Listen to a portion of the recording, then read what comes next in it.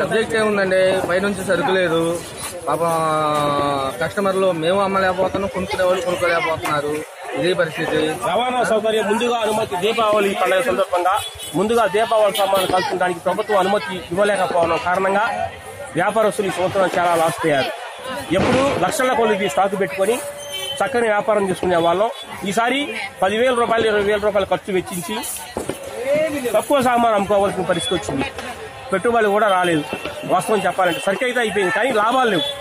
ఉన్న సరుకు పెట్టుబడులు పెరిగిపోయింది కరెక్ట్గా లాభం వస్తే మేము ఇంకా సంతోషపడే వాళ్ళం వచ్చే సంవత్సరంలో ముందుగా అనుమతులు ఇచ్చి మా వ్యాపార అభివృద్ధికి మీరు సహకరిస్తారని చెప్పి ప్రభుత్వం తరఫున కోరుకుంటున్నారు. ప్ర- ప్రజలు ఏ విధంగా కొనుగోలు చేస్తున్నారు ప్రజలు ప్రజలు ప్రజలు పూర్తిగా ఇబ్బంది పడుతున్నారు. ప్రతి గ్రామంలో పల్లె గ్రామాల్లో చక్కని వాతావరణం నెలకొనేది ముందు ఇప్పుడు దీపావళి సందడి రాకుండా ప్రతి గ్రామంలో కూడా అన్ని కూడా ప్రతి షాపు కూడా ముందుగానే నోటీసులు జారీ చేయడం వల్ల ఏ షాపులో కూడా దీపావళి సామాన్ అమ్మలేకపోయారు.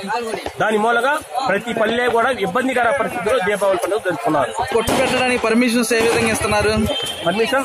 ఏ విధంగా ఇస్తున్నారన్న? చలానా ఎంతెంత కట్టించుకుంటున్నారు? చలానా అని అవన్నీ ఎప్పుడు యథామూలుగా అండి. ఈ సంవత్సరం ప్రతి సంవత్సరం ఎలా జరుగుతుందో ఈ సంవత్సరం కూడా అలాగే జరిగింది. దాంట్లో ఎలాంటి ఇబ్బందులు జరగలేదు.